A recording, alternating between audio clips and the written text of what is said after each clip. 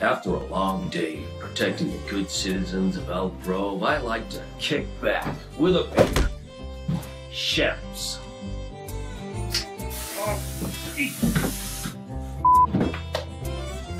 Gee Willikers!